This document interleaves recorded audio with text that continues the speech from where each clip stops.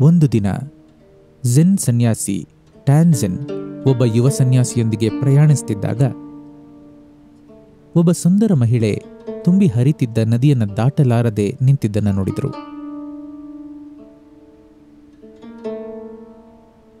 ಸಹಾಯಕ್ಕೆ ಮುಂದಾದ ಟ್ಯಾನ್ಸಿನ್ ಆಕೆಯನ್ನು ಹೊತ್ತು ನದಿಯನ್ನು ದಾಟಿಸಿದ.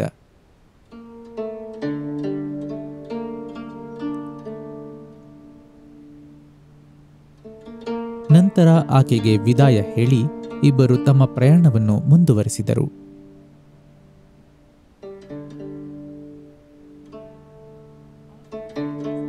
ಹಲವು ದಿನಗಳ ಪ್ರಯಾಣದ ನಂತರ ಆ ಯುವ ಸನ್ಯಾಸಿ ಟ್ಯಾನ್ಝೆನ್ನನ್ನ ಬಹಳ ಕಳವಳದಲ್ಲಿ ಕೇಳಿದ.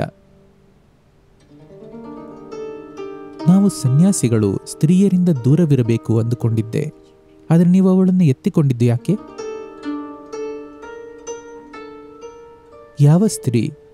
ಅಂತಂದ ಟ್ಯಾನ್ಸಿನ್ ಓ, ಅಲ್ಲಿ ಸಿಕ್ಕಿದ ಆ ಮಹಿಳೆನ? ನಾನವಳನ್ನು ಅಲ್ಲೇ ಬಿಟ್ಟೆ. ನೀನಿನ್ನೂ ಅವಳನ್ನು ಹೊತ್ತುಕೊಂಡಿದ್ಯಾ? ಅಂದ. ಟ್ಯಾನ್ಸಿನ್ನ ಈ ಮಾತಿನ ನಿಜವಾದ ಅರ್ಥ ಏನು?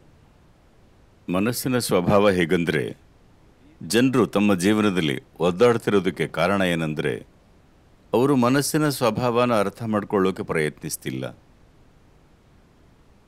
ಮನಸ್ಸಿನ ಒಂದು ಮೂಲಭೂತ ಅಂಶ ಅಂದರೆ ನೀವು ಯಾವುದನ್ನು ನನಗೆ ಬೇಡ ಅಂತೀರೋ ಅದೇ ಮನಸ್ಸಿನ ಸ್ವಭಾವ ಆಗುತ್ತೆ. ಅದೇ ಮನಸ್ಸಿನ ಮುಖ್ಯ ವಿಷಯವಾಗುತ್ತೆ. ಮಂಗಗಳ ಬಗ್ಗೆ ಯೋಚಿಸಬಾರದು ಅಂದ್ಕೊಂಡ್ರೆ ನೀವೊಂದು ಪ್ರತಿಜ್ಞೆ ಮಾಡಿ, ಇನ್ಮೇಲೆ ಮಂಗಗಳ ಬಗ್ಗೆ ಯೋಚಿಸಲ್ಲ ಅಂತ. ಇಡೀ ದಿನ ಅದನ್ನೇ ಯೋಚಿಸ್ತೀರಿ. ಪ್ರತಿಜ್ಞೆ ತಗೊಂಡಿಲ್ಲ ಅಂದರೆ ಮಂಗಗಳನ್ನು ನೋಡೋವರೆಗೆ ಬಹುಶಃ ಅದರ ಬಗ್ಗೆ ಯೋಚಿಸೋದೇ ಇಲ್ಲ. ಹಾಗಾಗಿ ಸನ್ಯಾಸಿ.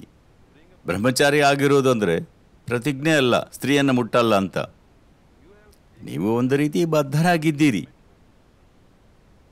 ಗರಿಷ್ಠವಾದದ್ದೇನೋ ಸಾಧಿಸೋಕೆ, ಬೇರೊಂದು ಆಯಾಮನ ಸ್ಪರ್ಶಿಸೋಕೆ, ಅಲ್ಲೇ ಲೌಕಿಕ ವಿಷಯಗಳೆಲ್ಲ ಅರ್ಥಹೀನ ಅನಿಸುತ್ತೆ.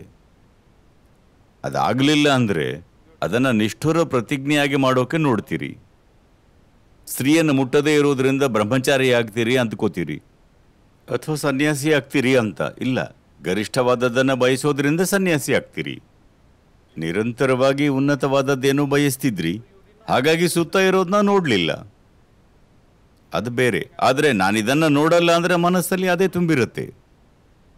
ಆಕೆಗೆ ಸಹಾಯ ಬೇಕಿತ್ತು. ಅವನು ನೆರವು ನೀಡಿ ಮುಂದೆ ಹೋದ. ಇನ್ನೊಬ್ಬ ಅವಳನ್ನು ಮುಟ್ಟಲಿಲ್ಲ. ಆದರೆ ಎರಡು ದಿನದಿಂದ ತಲೆಯಲ್ಲಿ ಅದೇ ಇದೆ. ಅವಳನ್ನು ಬಿಡೋಕ್ಕಾಗ್ತಿಲ್ಲ ಅಗತ್ಯವಿದ್ದ ನೆರವು ನೀಡಿದವನು. ಅವಳನ್ನು ಅಲ್ಲೇ ಬಿಟ್ಟ. ಯಾರು ಸ್ತ್ರೀನ ದೂರವಿಡೋಕೆ ನೋಡ್ತಿದ್ನೋ, ಅವನ ತಲೆಯಲ್ಲಿ ಅವಳೇ ತುಂಬಿದ್ದಾಳೆ. ಇದು ಸ್ತ್ರೀಯರ ಬಗ್ಗೆ ಅಲ್ಲ, ಯಾವುದೋ ಸಂಗತಿ ಬಗ್ಗೆ ಅಲ್ಲ. ಇದು ಮನಸ್ಸಿನ ಸ್ವಭಾವನ ಅರ್ಥ ಮಾಡ್ಕೊಳ್ಳೋ ಬಗ್ಗೆ. ಇದು ನನಗೆ ಬೇಡ ಅಂದ್ರೆ ಬರೀ ಅದೇ ಆಗುತ್ತೆ. ಯಾಕಂದ್ರೆ ಮನಸ್ಸಲ್ಲಿ ವ್ಯವಕಲನ ಭಾಗಾಕಾರ ಇಲ್ಲ. ಮನಸ್ಸಿನಿಂದ ಬಲವಂತವಾಗಿ ಒಂದೇ ಒಂದು ಯೋಚನೆನೂ ತೆಗಿಯೋಕ್ಕಾಗಲ್ಲ ಏನೇ ಮಾಡಿದ್ರೂ ಇನ್ನೂ ಜಾಸ್ತಿ ಆಗುತ್ತೆ. ಸಂಕಲನ ಗುಣಾಕಾರ ಆಗುತ್ತೆ. ನಿಮ್ಮ ಮನಸ್ಸಲ್ಲಿ ವ್ಯವಕಲನ ಅಥವಾ ಭಾಗಾಕಾರ ಇಲ್ಲ.